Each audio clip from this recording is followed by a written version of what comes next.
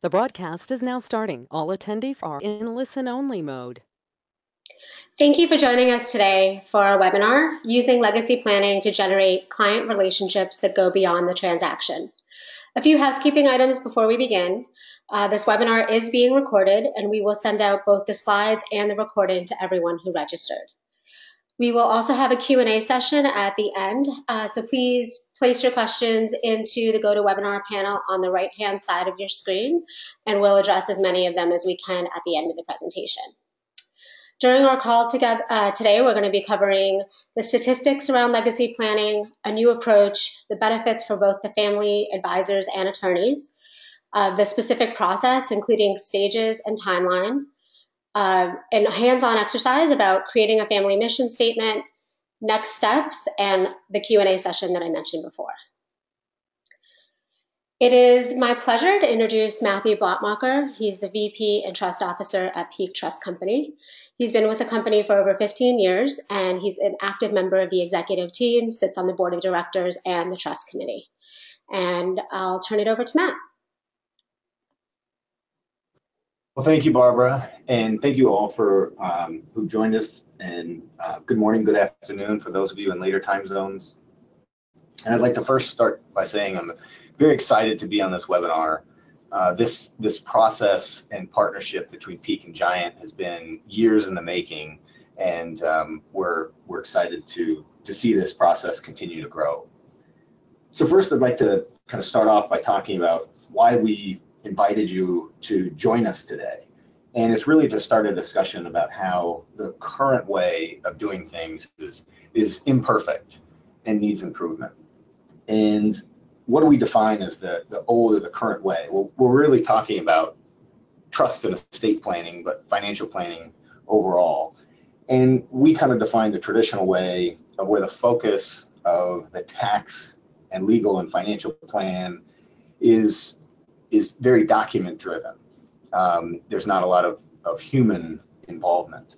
Um, now, while this planning can't be minimized, and it's still absolutely crucial to the process, um, we believe fundamentally that there are additional components of planning that are needed.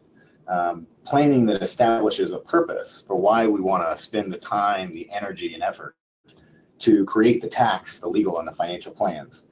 And this additional planning involves the people who will ultimately manage and benefit from the assets. So we've defined this additional planning as, as legacy planning. So why legacy planning? Why do we believe it's it's a, a better way forward? And it really starts with what is missed in traditional planning. Um, according to a study by Allianz, surveyed individuals placed values, life lessons as high priorities when creating estate plans. And I can tell you from personal experience, and I'm sure many of you can when working with clients, that many of them will say that values, life lessons, and experiences are items they wish to pass along to future generations.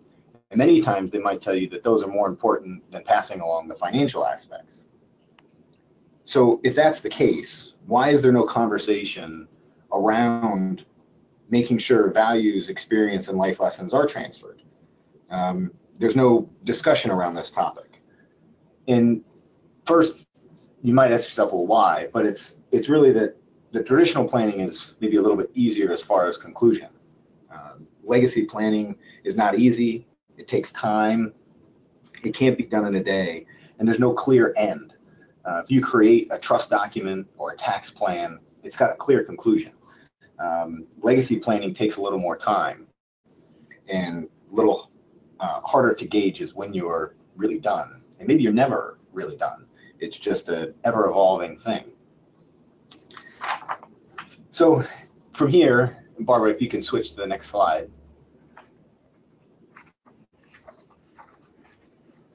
You might ask yourself, well, why do we need to consider a change? What's wrong with the current way that things have been done? And it really comes down to the statistics. They tell us why.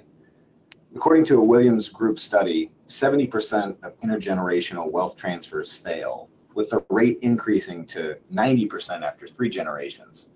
And there are some studies that put this rate at 90 plus percent even in the first generation. And in that same research, they concluded that only 2 to 3% of these transfers failed because of the the result of document problems or improper tax or financial planning. And then the further in the research, it was found that 30% of families that were successful in one generation of transfer did so because they had a family mission statement and a plan to accomplish that mission. You might ask yourself, well, why does that matter? Why does simply having a mission statement significantly increase your chances of success? And I'd ask you to recall back to when you were a kid, you had a parent, a teacher, or a coach that asked you to set goals. Maybe at the time you thought it was you know, fruitless and, and annoying. But the simple act of defining your goals helps with your long-term vision and short-term motivation to move you closer to realizing that goal this goal setting, mission, and purpose is fundamental to the legacy planning process. and if, uh, Barbara, you can advance to the next slide, please. So how did we get here? Um, through its work, Peak realized that traditional planning had a high failure rate, as we talked about in the statistics. And we could see that the families we had the opportunity to work with were wanting more. They had a desire to better define and protect their legacies. This led Peak to a partnership with a wonderful organization that got its start by helping businesses better define and achieve their purpose and mission, called Giant. The purpose of the partnership between Peak and Giant is to help families define, achieve, and protect their legacies. With this, I'd like to introduce you to Amy Norton, who's a senior associate with Giant. She works with Giant and focuses mostly on consulting to help businesses make their people better. Uh, she works not only with individuals and companies uh, to help them better understand their current reality and make meaningful changes. She really likes to focus on creating sustainable success and leadership. And she's here today to help bring her skills to the table that she's learned in working with businesses to help families move forward. And with that, it's my pleasure to introduce you to Amy. Thank you, Matt. I'm so glad to get to share this conversation space with you today. It's such an important topic, especially when we think about all the baby boomers transitioning uh, to their next generation. So thank you so much for the opportunity to partner with you in this and hello to everybody. Um, I'm coming to you from Nashville, Tennessee, where I make my home with my family and it's been a great privilege actually to walk with Peak Trust in the, the leadership development process. So um, when I usually, people ask me what I do, I usually say I'm an adult behavior specialist, and that usually elicits a laugh or two. Uh, but at the end of the day, bottom line, what I'm focused on, as Matt said, and what Giant Worldwide is focused on, is helping companies be better by helping their people be better. And whether we're working with a for-profit, not-for-profit, large, small, public, private, government entity, whatever the size of that organization, the universal issue always tracks back to people um, and helping leaders look at their people as assets and not liabilities. So when we think about the family legacy planning space, this is a natural place for uh, somebody like Matt in his financial services sector to partner up with us to think about the bigger issues that are, are universal part of, of all organizations and family structures. Um, and a little bit about Giant, we really believe that the world doesn't need more leaders necessarily. We, we believe that the world needs more of the right kind of leaders. Um, we know that there are dominating leaders who create abdicating cultures.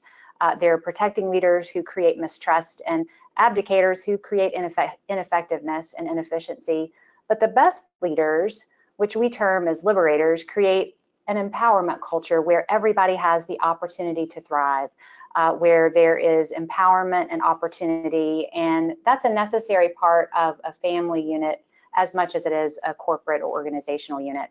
Um, and our, our philosophy is really that people can only, leaders can only give what they possess. So it's incredibly important for the individual leaders to be healthy, uh, in order to have that sustainable, scalable growth uh, and longevity in terms of family transition. So you can see at the bottom of this slide, um, or could, that there, those are some examples of the businesses that we work with, and great to go on to the next slide, Barbara. really what we do when we work with organizations is help develop people. And we do this in a process over time. You heard Matt say that uh, these things don't happen overnight. And when you're making change within an organization, especially in the relational dynamics department, which is where I orbit, there really is a necessary process over time. Um, and when we think about transferring legacy from one generation to the next, this is very evident. And we'll, we'll unpack this a little bit as we talk today. So I want to show you a couple of tools. Uh, we use very simple sticky visual tools in our giant world because we know adults are time pressed and distracted by multiple things. And uh, this, both of these tools give you a little bit of a window into some of the things we're using with our clients and very appropriate to our discussion today. So on the right, you'll see a tool that's called Know Yourself to Lead Yourself. And this infinity loop visual gives us an image of what it looks like to be on a continual behavior pattern perhaps without awareness around where our tendencies may be contributing to uh, good things in relationships or potential blind spots, blind spots and friction points. So our premise is that if we want to have healthy culture, we are the leaders, the leaders define the culture. We actually have to know ourselves to be able to lead ourselves because for good or ill, all of the things that we do as a result of deep-seated tendencies create behavior patterns and actions that have consequences and determine our reality. So if the reality is that we want to have a healthy family structure and a, a, family unit that transitions wealth successfully 14 generations hence, then we actually, as the legacy leader, have to know ourselves really well. Uh, not only what we want for our family, but actually what we're doing to create the family culture. And when we think about transferring our values and our assets and our wealth, there's really a process over time that's best represented by that apprenticeship square. Uh, and this gives us a, a visual, this is the tool on the left side of the screen, a visual for the process over time where the legacy leader is running the business, managing the family, and begins to bring younger generations into the process where they intentionally participate in meetings, perhaps in watching what the leader is doing, learning what it is that is valued and needs to be transitioned. Uh, so over a process, over time, we're able to take people with no awareness of what's needed to observing the process, to participating in the process, which is on that third side where I'm doing and you're helping if you're the, the next generation to finally a place where transition has been made complete and the new generation is now able to work from an automatic place. So those are just a couple of uh, the, the simple visual tools that are really based on some complex principles that we use to frame up uh, our engagements. And Matt and his company are very familiar with these. These are things that they've been using in the work we've been doing together. Let's move to the next slide. So when we think about adapting our process, uh, we really begin from that, that simple idea of leaders knowing themselves to lead themselves and determining the process for making that transition. Um, so helping people hear and understand and value one another is a really important part of the process and something that we we build a lot of time into intentionally helping people understand where they're coming from we're going to get to sample a little bit of that experience today as we think about your creating your own personal mission statement. Let's move to the next slide, Barbara. I want to talk for just a minute about the kinds of things that we transfer and what it is that we want to pass on. And Matt alluded to this in his opening remarks, but it really is more about more than just the, the financial piece of the puzzle. So with this wealth trinity visual here, you're seeing sort of the three segments of what has to be passed on. And the financial piece, which is what you and our audience are most focused on, uh, are th this is the obvious piece. There's a, a substantial asset that needs to be transitioned to in a trust or whatever the vehicle is to the next generation. But there are actually two other pieces that are incredibly important to that successful transfer. Um, and that's the values piece and wisdom and intellectual wealth. So when I think about these things, I'm thinking about not only what the family values, but what every person involved, what the beneficiaries value. And when I think about wisdom, I'm thinking about the narrative, the family narrative. Um, who who is the the at the beginning of the family, who created the business. Uh, what is the story? What are the experiences and those shared sense of of belonging that are part of the, the current reality of the legacy leader and the future possibilities of future generations. And actually having a process to collect and aggregate and understand that narrative wealth is incredibly important to the legacy process so that everybody has a shared sense of, of belonging, a mutual sense of purpose. And the narrative piece of that is very important. Let's go to the next slide. And at this point, I'm going to pass the baton to Matt to talk a little bit about the goals once we understand those three pieces of the, the wealth trinity there, a little bit around the goals for planning. So Matt, take it away. Thanks, Amy. So this talks about, you know, what we really want to get out of legacy planning beyond what we might get from traditional planning. And by diving into, you know, the individuals and the family, we hope to you know avoid conflict and infighting amongst the family, especially as assets start to transfer and future generation or excuse me, older generations step away and future generations or younger generations step in.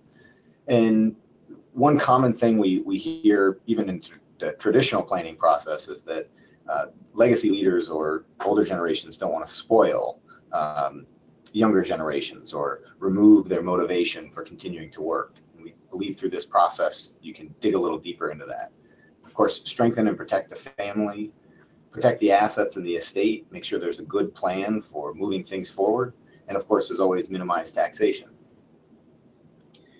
And if you, uh, we can look at the the planning process. Um, this concept of transferring more than just financial assets is not something unique to Giant and Peak Trust Company. Um, there are many, you know, books and, and seminars that talk about transferring more than financial assets.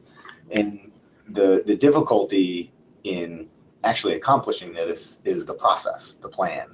And we're fortunate to be able to work with Giant and uh, crafting a process that actually is uh, valuable to a family and really helps create a conclusion around the process. And we break this process up into what we believe is really a 10 step process with three main parts uh, planning, decision making, and conflict resolution. Um, steps one through six are under the planning phase, and you'd go through a preparation call and a survey You'd involve all key family members or all those that were uh, desired to sit at the table. You goal set and go through ground rules.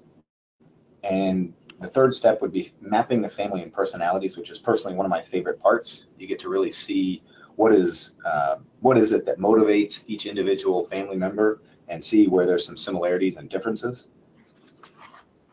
Process four, or step four, would be the individual interviews where we try and discover each member of the families their life plan and intention. What is it that they want to accomplish? Meaning five, we start to combine all the values from the individuals and put those into a shared family dream. Um, meeting six goes further into defining family values and causes.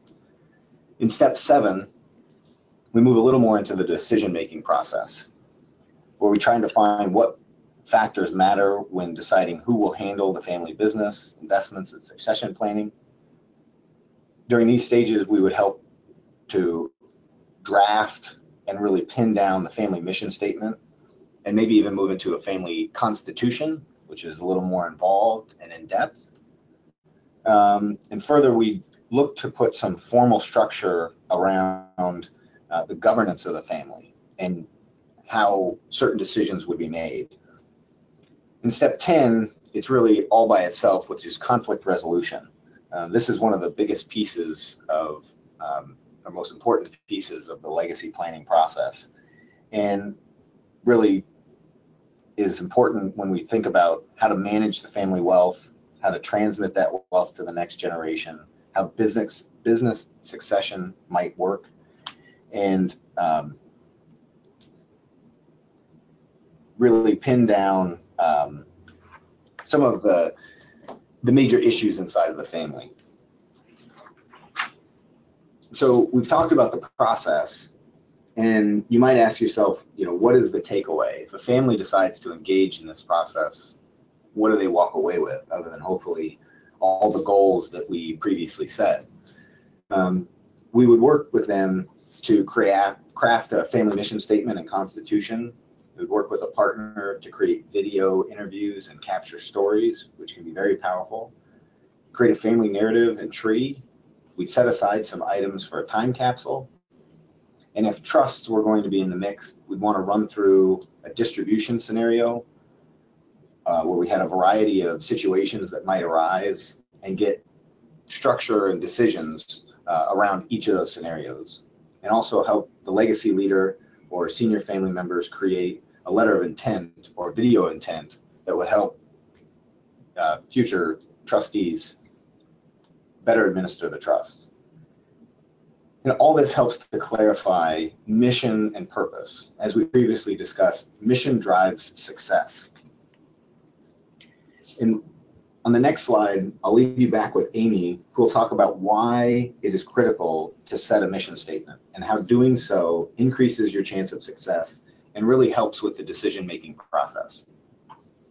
Thank you, Matt it's a, this is such an important piece of the process for that that family legacy transfer is really having clarity of purpose because the reality is when your purpose is clear when your mission is clear decisions are easy. So that is why we really focus on this as a big part of the the family legacy planning process coming up with that family mission statement. If we know why we exist then we we can make decisions about what we do with assets or how we uh, how we fund a foundation, whatever whatever the issue might be. So what you're seeing now here is a tool that Giant has uh, developed to use for strategic planning purposes. Um, it's our organizational clarity tool and all the components you see here really touch the, the organizational structure or, or all the components of organizational structure, everything from the, the philosophical things, why do we exist, uh, what do we value, uh, to roles and responsibilities in the middle, uh, to tactical things in the, the bottom half, so strategy and structure and tactics. And when, when there's clarity at all levels of the organization, across the board, philosophically, and even down to a do people know what to do every day, uh, there is an opportunity for you to make great strides toward reaching those goals. So this is what we use to frame our thoughts around the process. And what I thought uh, we would do for a few minutes now that we've introduced the big picture of why legacy planning is necessary and what some of those component pieces are is really thinking about what your personal mission statement is. Um, and to do that, we're going to think a little bit about values first. Uh, usually when I start working with executives and owners of companies and family members who are the legacy leaders, we always start from that personal, what do you value most? Um, and just a little high level definition, I think vision and mission are two words that can get confused in terms of what they what they mean and what they represent. So when we think about vision, this is actually a picture, a picture of an ideal future. And vision statements answer the question, what do we want our future to be? So we're really thinking big picture. And I'm always fascinated with personality tendency here because some of us are hardwired to easily think and be focused on the future. And some of us are focused more in the present. Matt and I are examples of, of the opposites there. I, I'm very much focused on present details. Matt is naturally geared toward looking toward the big picture. So um, we we always tie back to the personality place when we're working with families to help them understand what their their orientation is for looking at the world. But the vision is that big picture uh, idea of where we want to be ultimately mission, which is a lot of what we're talking about today, is what we are charged to do in order to achieve that vision. So what actually must we do to make that vision a reality? Um, and then lastly, values are the beliefs or the guardrails that shape a culture or a family or an organization. And because leaders define a culture, it's so important for the legacy leader to know what they value and for that larger family unit to know what they value as a family. So some of the, the questions that are answered in this process are, what are our values? What is most important? Who are we?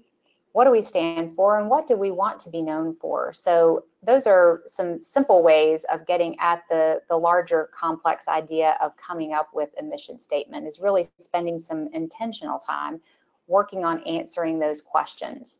And it's it's easier to answer the big family question of what do we stand for when I know personally what I stand for. So I want to flip to the next slide for just a second and invite you, if you have a, a pen and a piece of paper, take just a moment and write down some of the values that are essential to who you are. And we're sharing this wealth trinity visual again to give you some categories to maybe think about putting that in. Um, if we were doing this as a real exercise, we would take a, a, a, block of time and lots of words to give you some prompts to think about it. But if you think about financial, the financial side of life, uh, your experiences and where wisdom comes from, the, those key areas. So education, experiences, lessons, failures, family history, faith, religion, all of your relationships. Uh, what what out of that bucket are things that you value? And then um, finally, just in general, what are maybe philosophical things that you value? Philanthropy, family, hopes for the future, uh, in that category. So take just a moment and whatever's coming to your mind first is the right answer. You don't need to overthink it, but just jot down a few words of things that you know that you value. Um, and I think if I were doing this, certainly family would factor in as something that is a high value for me. Uh, intellectual wisdom, always being a learner, that's something that I value. So if that helps you with some prompts on, on what to think about there. Um, so jot those down and then let's go to the next slide, Barbara. As you're looking at those words, be thinking about who you are and what do you stand for? What do you want to do? If you were thinking about your ideal future, what would that look like? Or giving you a nice uh, image of the ocean here with somebody really thinking about way far out on the horizon now there. So if you were actually doing this exercise, we'd be asking you to really flesh this out. What do you value and how does this connect to the picture of the future you see for yourself? Um, and what are the kinds of things you need to do to be able to accomplish your goals?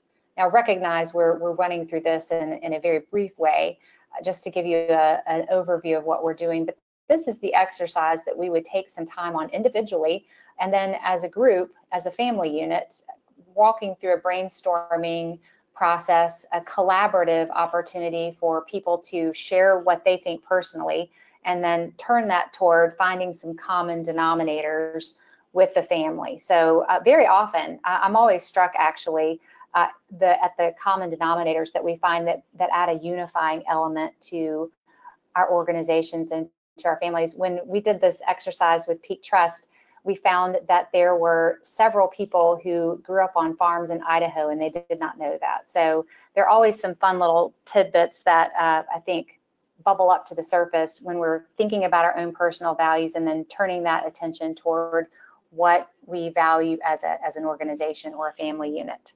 So I hope you've had a minute to, to jot a few things down.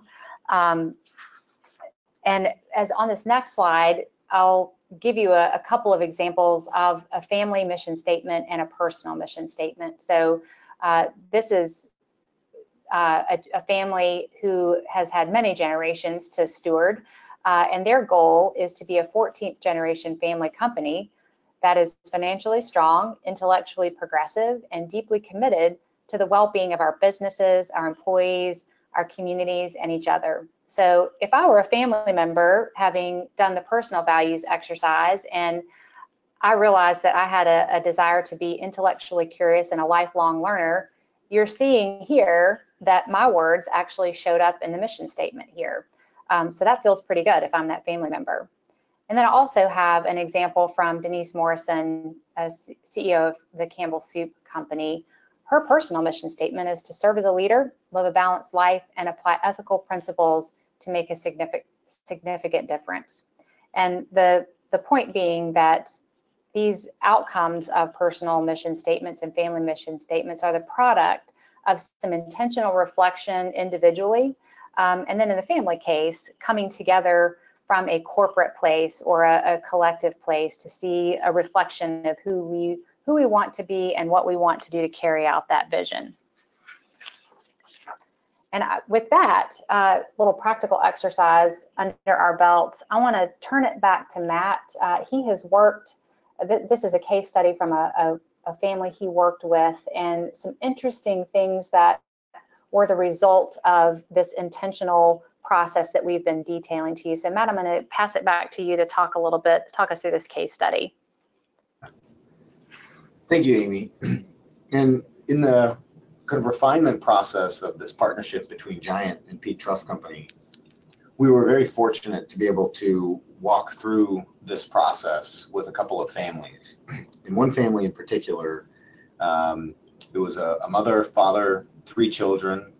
All the children were in their 20s, and each was experiencing some transition in their life. Um, it was marriage, graduation, beginning of careers, and in some cases, uh, all three. And there were some catalysts for why the family wanted to come to the table and really engage in this process. They wanted to help define the roles that children would play in the family business. They wanted to help define the family legacy and mission statement, introduce children to key advisors, and really understand the motivators and inhibitors for each family member, really get a better understanding of the family unit. And the results that came from that process are probably best um, represented by the quotes from the family members who walked through this process. Um, I personally find these quotes to be powerful and probably the, the best way to illuminate the value of legacy planning. This process really allows a family to go much deeper than what is traditionally done through uh, traditional planning alone. And, um,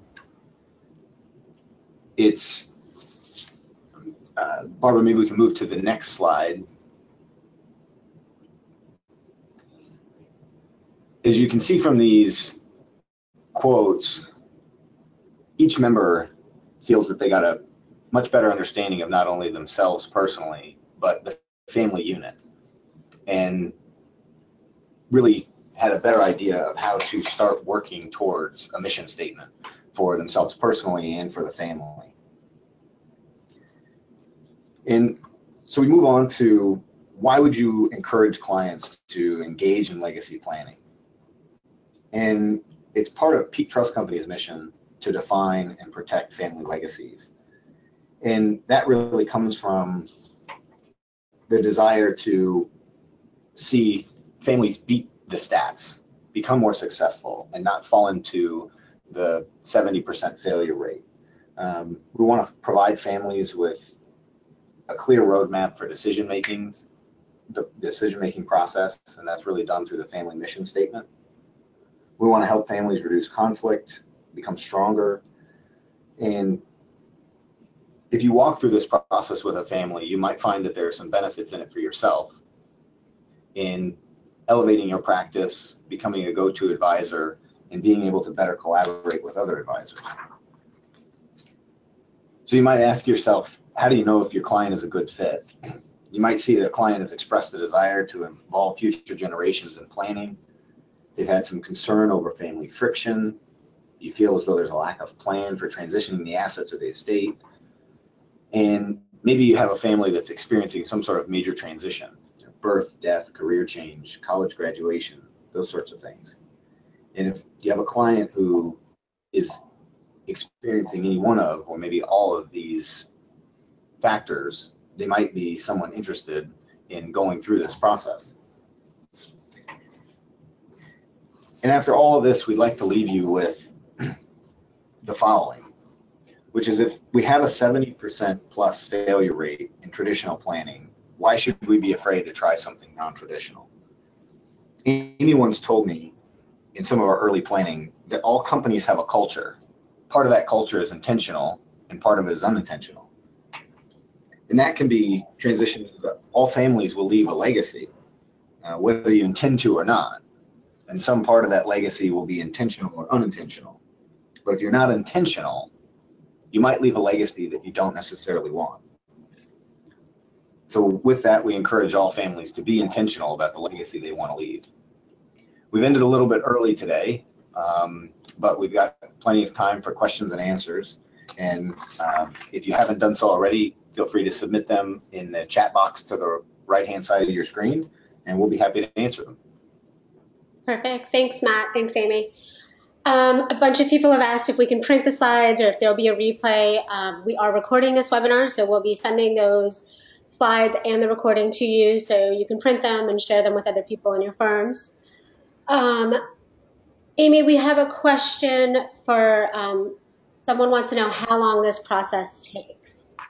Could you give us an overview? So I can take that. Um, the process is unique to the family, uh, and every process is a little bit different. And I don't mean that to be unnecessarily vague, uh, but we we would usually anticipate plus minus a year. Uh, transformation is a process over time, and when we're thinking about transforming a family from simply just wealth transfer to the values legacy transfer uh, wider scope that we've been talking about today, we know it takes time. It takes time to build that narrative, time for leaders to understand themselves, know themselves, if you will.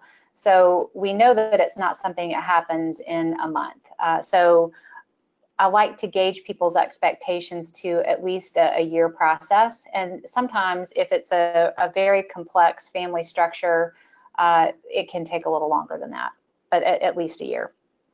Great. Matt, can you talk us through how the attorney would sort of fit into this process and how they work with Peak? Absolutely. We really view that in many cases, um, the attorney is already working with the family on their estate and financial plan. And they may be the first person to either introduce this topic to or that a family might start inquiring to an attorney about what this process is like. Is there more that can be done than just the traditional document drafting? And they would really be, in our mind, the quarterback of this process. Uh, they would bring the, the, all the players to the table, so to speak, and be that kind of go-to advisor for the family. Um, Peak and Giant are here to help, you know, fill in the gaps, so to speak, um, and rather than take over that relationship. Great. Uh, Amy, can you talk to? Uh, there's a question about is all of this done in person? Is it done over the phone? Is it done online? How does this process actually happen? That is a great question.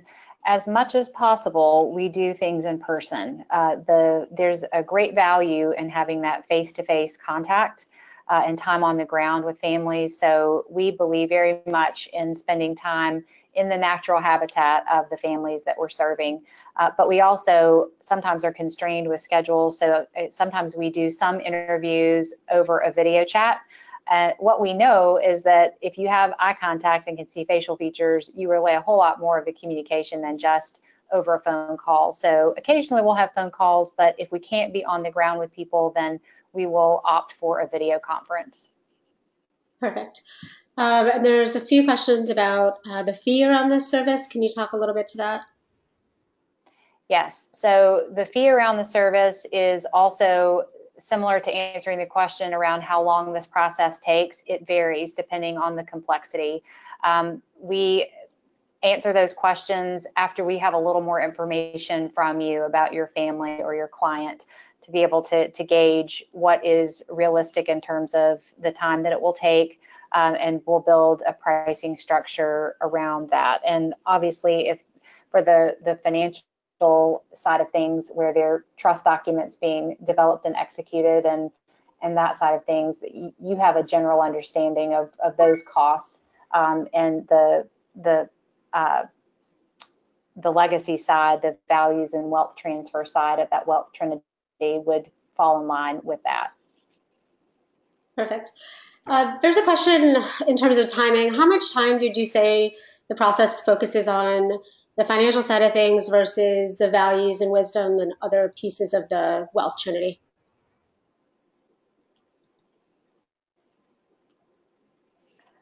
I think again, it is when we begin an engagement, uh, we go through a discovery process and it takes a little while to figure out who all needs to be interviewed um, and what what what all the pieces and parts are.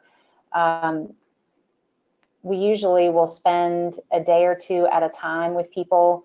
And we we have some understanding of what information overload is for people. So we would not take a legacy leader through a leader intensive where we're doing a deep dive on personality for example followed by several hours of, of interviewing. Um, it would never feel like a deposition. It's not that kind of intensity. Uh, but when we're asking people to think through telling story uh, it is it is taxing to to dig back through your your memory bank. So we're we are understanding of uh, what reasonable time is on a, day-to-day basis. Um, and I, I, think on average, we're probably spending several days, whether that's on the ground or metered out over several visits in person and video phone calls, probably maybe two or three days with a legacy leader just to get to know them and get the process started. Um, that that's where we would begin. Right. And again, it's hard to to answer this without having specifics of a family in front of you to be able to map that around.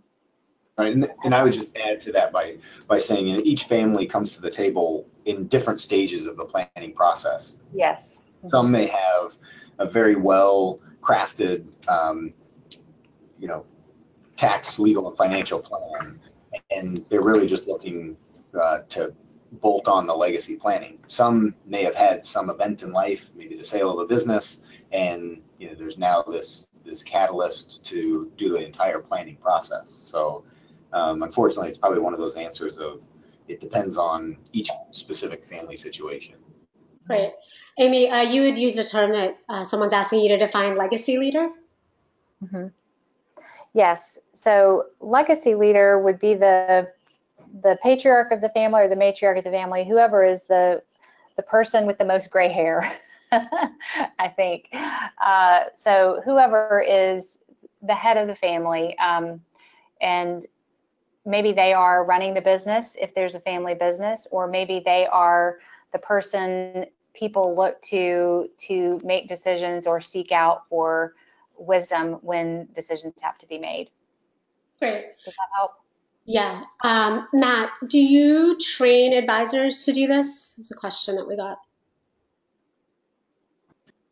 Um, we we have Peak Trust Company does not formally train advisors. I mean, obviously, there's a lot of, of training that they would get through the experience of going through this process. Um, Giant has specific training for someone who wants to become more involved with this process. And for anyone interested, I would highly encourage you to reach out to Amy um, and to find out more about that. And I can piggyback on that. We are launching some specific training that is for practitioners and not consultants in our giant world. So if you're a if you're working within the the giant entity as a consultant, there's a consultative training and apprenticeship track, but we know that there are lots of people out there in the world who would benefit from having access to some of our curriculum and training materials. So we actually, uh, in the fourth quarter of this year, are going to be launching some uh, user license related accessible materials that people will be able to have and use with their whatever their training that they need to do with their clients. Perfect. So, Madam, I, another question about the specific role that the advisor plays in this process. How would you describe that? I would say that, again, it's unfortunately kind of one of those answers of it depends. They could be as involved or um, or uninvolved as they wish, but any advisor uh, bringing you know a relationship to this process uh, would really be in the driver's seat. Um, they would help the family walk through this process. In many cases, would be involved in all, if not a significant portion of, of the family meetings. And uh, again, would really be that quarterback. Perfect. I think we've addressed uh, most of the questions that we got today. Want to thank Amy and Matt for their time and for everyone for attending. Um, again, we are sending out the recording and the slides, so everyone will have access to that um, as well as contact information for Matt. If you have a client that you think might be a good fit for this process, then um, Matt's the right person to talk to. And um, thanks so much for your time, everyone. We really appreciate it.